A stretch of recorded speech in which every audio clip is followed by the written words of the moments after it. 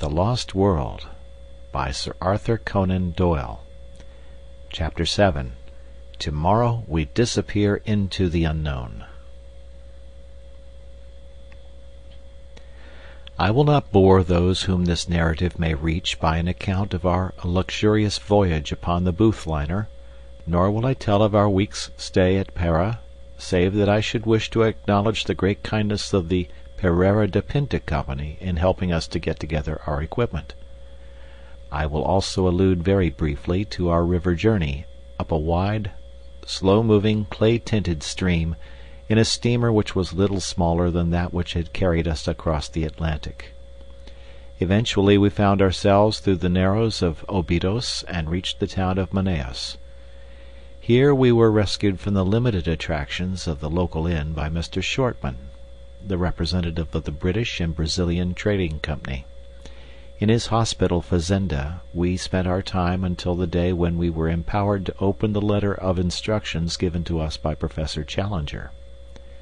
Before I reach the surprising events of that date, I would desire to give a clearer sketch of my comrades in this enterprise, and of the associates whom we had already gathered together in South America.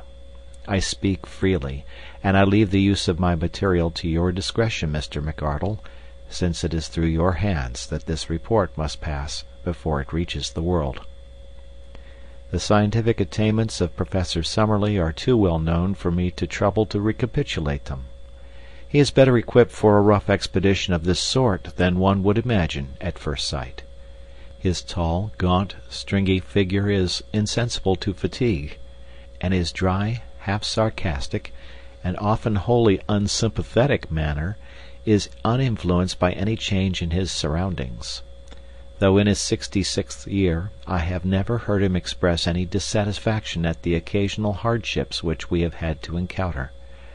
I had regarded his presence as an encumbrance to the expedition, but as a matter of fact I am now well convinced that his power of endurance is as great as my own. In temper he is naturally acid and skeptical. From the beginning he has never concealed his belief that Professor Challenger is an absolute fraud, that we are all embarked upon an absurd wild goose chase, and that we are likely to reap nothing but disappointment and danger in South America, and corresponding ridicule in England. Such are the views which, with much passionate distortion of his thin features and wagging of his thin, goat like beard, he poured into our ears all the way from Southampton to Manaos. Since landing from the boat he has obtained some consolation from the beauty and variety of the insect and bird life around him, for he is absolutely wholehearted in his devotion to science. He spends his days flitting through the woods with his shotgun and his butterfly net, and his evenings in mounting the many specimens he has acquired. Among his minor peculiarities are that he is careless as to his attire, unclean in his person, exceedingly absent minded in his habits, and addicted to smoking a short briar pipe, which is seldom out of his mouth. He has been upon several scientific expeditions in his youth he was with Robertson in Papua and the life of the camp and the canoe is nothing fresh to him. Lord John Roxton has some points in common with Professor Summerlee, and others in which they are the very antithesis to each other. He is twenty years younger, but has something of the same spare, scraggy physique. As to his appearance, I have, as I recollect, described it in that portion of my narrative which I have left behind me in London. He is exceedingly neat and prim in his ways, dresses always with great care in white drill suits and high brown mosquito boots, and shaves at least once a day. Like most men of action, he is laconic in speech, and sinks readily into his own thoughts, but he is always quick to answer a question or join in a conversation, talking in a queer, jerky, half humorous fashion. His knowledge of the world and very especially of South America, is surprising, and he has a wholehearted belief in the possibilities of our journey which is not to be dashed by the sneers of Professor Summerlee. He has a gentle voice and a quiet manner, but behind his twinkling blue eyes there lurks a capacity for furious wrath and implacable resolution, the more dangerous because they are held in leash. He spoke little of his own exploits in Brazil and Peru, but it was a revelation to me to find the excitement which was caused by his presence among the riverine natives, who looked upon him as their champion and protector. The exploits of the Red Chief, as they called him, had become legends among them, but the real facts, as far as I could learn them, were amazing enough. These were that Lord John had found himself some years before in that no man's land which is formed by the half defined frontiers between Peru, Brazil, and Colombia. In this great district the wild rubber tree flourishes and has become, as in the Congo, a curse to the natives which can only be compared to their forced labor under the Spaniards upon the old silver mines of Darien. A handful of villainous half breeds dominated the country, armed such Indians as would support them, and turned the rest into slaves, terrorizing them with the most inhuman tortures in order to force them to gather the India rubber, which was then floated down the river to Para. Lord John Roxton expostulated on behalf of the wretched victims, and received nothing but threats and insults for his pains. He then formally declared war against Pedro Lopez, the leader of the slave drivers, enrolled a band of runaway slaves in his service, armed them, and conducted a campaign, which ended by his killing with his own hands the notorious half breed, and breaking down the system which he represented. No wonder that the ginger headed man with the silky voice and the free and easy manners was now looked upon with deep interest upon the banks of the great South American river, though the feelings he inspired were naturally mixed, since the gratitude of the natives was equaled by the resentment of those who desired to exploit them. One useful result of his former experiences was that he could talk fluently in the Lingoa Geral which is the peculiar talk, one third Portuguese and two thirds Indian, which is current all over Brazil. I have said before that Lord John Roxton was a South Americomaniac. He could not speak of that great country without ardor, and this ardor was infectious, for, ignorant as I was, he fixed my attention and stimulated my curiosity. How I wish I could reproduce the glamour of his discourses, that peculiar mixture of accurate knowledge and of racy imagination which gave them their fascination, until even the Professor's cynical and skeptical smile would gradually vanish from his thin face as he listened. He would tell the history of the mighty river so rapidly explored, for some of the first conquerors of Peru actually crossed the entire continent upon its waters and yet so unknown in regard to all that lay behind its ever-changing banks. "What is there?" he would cry, pointing to the north. "Wood and marsh and unpenetrated jungle. Who knows what it may shelter? And there to the south, a wilderness of swampy forest, where no white man has ever been. The unknown is up against us on every side. Outside the narrow lines of the rivers what does anyone know? Who will say what is possible in such a country? Why should old man Challenger not be right? At which direct defiance the stubborn sneer would reappear upon Professor Summerlee's face, and he would sit, shaking his sardonic head in unsympathetic silence, behind the cloud of his briar root pipe. So much for the moment for my two white companions whose characters and limitations will be further exposed, as surely as my own, as this narrative proceeds. But already we have enrolled certain retainers who may play no small part in what is to come. The first is a gigantic negro named Zambo, who is a black Hercules, as willing as any horse, and about as intelligent. Him we enlisted at Para, on the recommendation of the steamship company, on whose vessels he had learned to speak a halting English. It was at Para also that we engaged Gomez and Manuel, two half breeds from up the river, just come down with a cargo of redwood. They were swarthy fellows, bearded and fierce, as active and wiry as panthers. Both of them had spent their lives in those upper waters of the Amazon which we were about to explore, and it was this recommendation which had caused Lord John to engage them. One of them, Gomez, had the further advantage that he could speak excellent English. These men were willing to act as our personal servants, to cook, to row, or to make themselves useful in any way at a payment of fifteen dollars a month. Besides these, we had engaged three Mojo Indians from Bolivia, who are the most skilful at fishing and boat work of all the river tribes.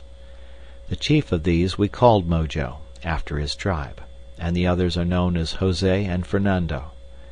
Three white men, then, two half breeds, one negro, and three Indians made up the personnel of the little expedition which lay waiting for its instructions at Manaos before starting upon its singular quest. At last, after a weary week, the day had come and the hour. I ask you to picture the shaded sitting room on the Fazenda St. Ignacio, two miles inland from the town of Manaos. Outside lay the yellow, brassy glare of the sunshine, with the shadows of the palm trees as black and definite as the trees themselves. The air was calm, full of the eternal hum of insects, a tropical chorus of many octaves, from the deep drone of the bee to the high, keen pipe of the mosquito. Beyond the veranda was a small cleared garden, bounded with cactus hedges and adorned with clumps of flowering shrubs, round which the great blue butterflies and the tiny humming birds fluttered and darted in crescents of sparkling light. Within, we were seated round the cane table, on which lay a sealed envelope. Inscribed upon it, in the jagged handwriting of Professor Challenger, were the words, "Instructions to Lord John Roxton and party, to be opened at Manaos upon July 15th, at twelve o'clock precisely." Lord John had placed his watch upon the table beside him.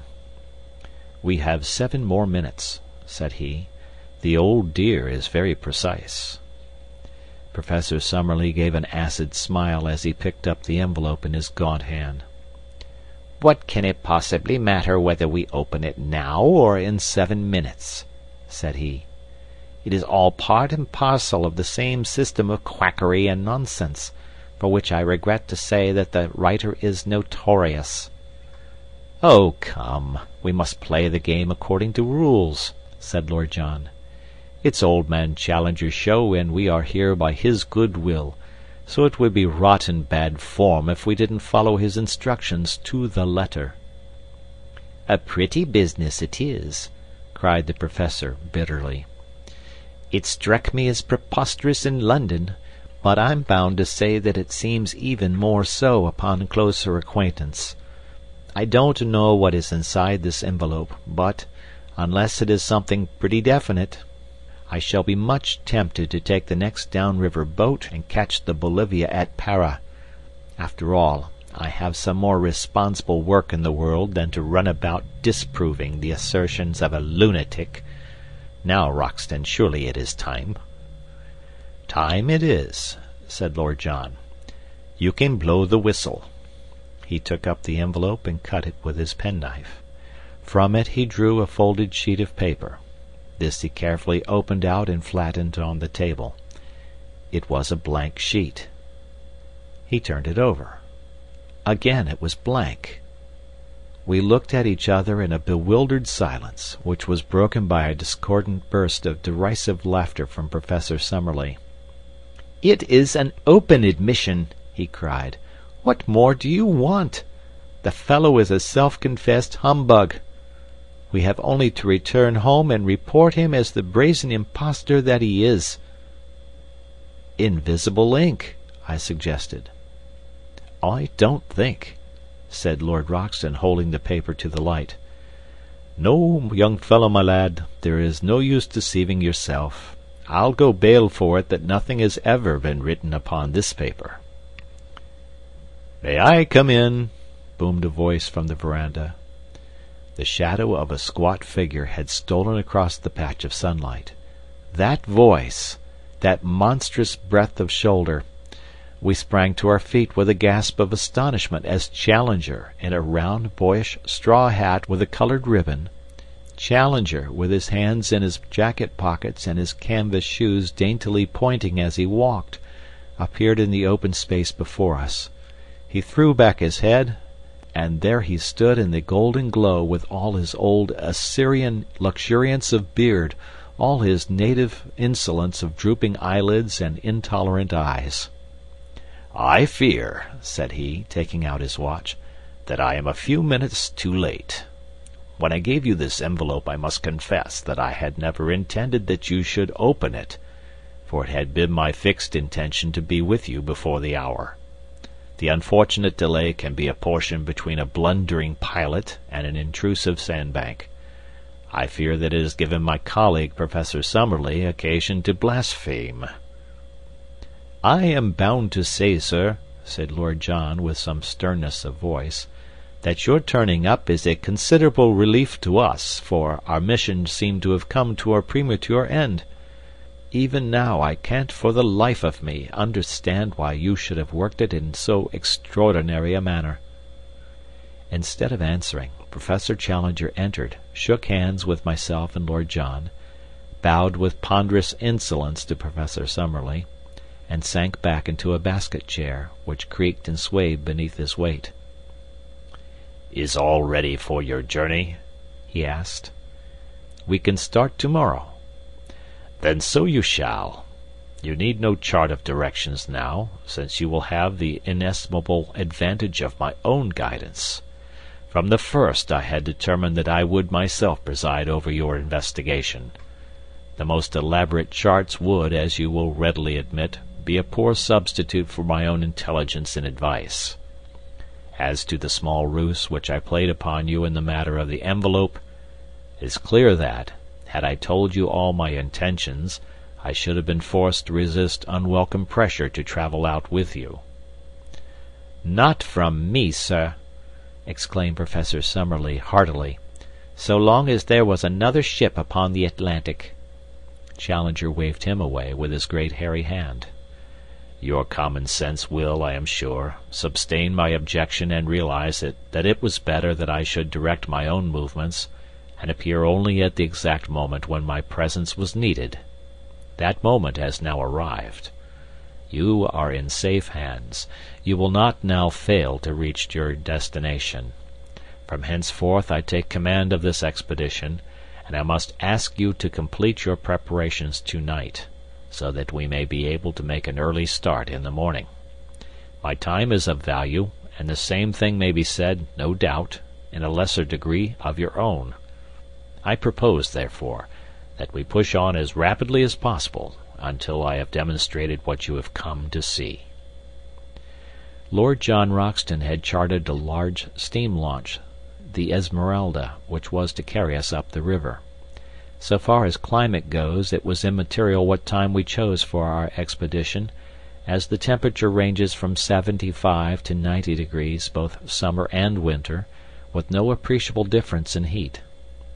In moisture, however, it is otherwise.